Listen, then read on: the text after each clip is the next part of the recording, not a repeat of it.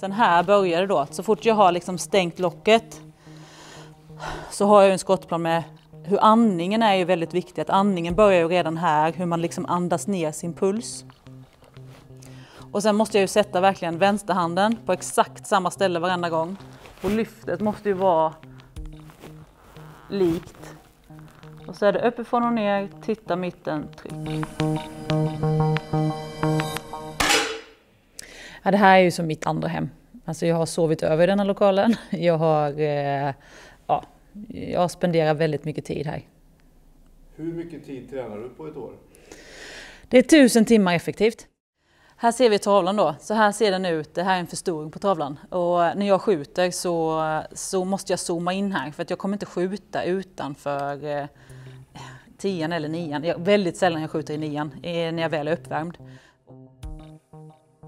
Jag skulle nog vilja sticka ut hakan lite och säga att jag är nog ensam i, alltså jag är ensam i världen om att ha eh, militär, eh, militärt VM-guld, eh, friskt VM-guld och para VM-guld.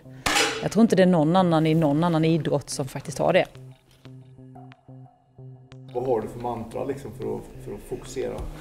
Alltså vi jobbar efter något som heter skottplan. Alltså det är att, oh, det är svårt att förklara, det är ju vara här och nu. Du kan liksom inte fokusera på det skottet du hade innan och du kan inte fokusera på nästa skott. Vi skjuter väldigt många skott och det är bara här och nu. Nästa skott, nästa skott. Här och nu.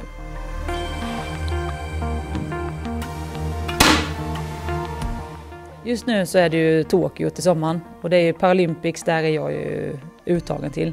Så blir det av så kommer jag skjuta där. Och jag är ju en av Sveriges alltså, favoriter. Så att ta medalj i Tokyo är ju ett av mina stora mål.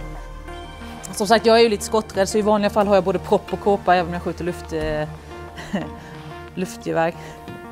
Det brukar många säga till mig, varför har du börjat med skytte när du är skotträddarna? Säger jag, nej, det kan man fråga sig.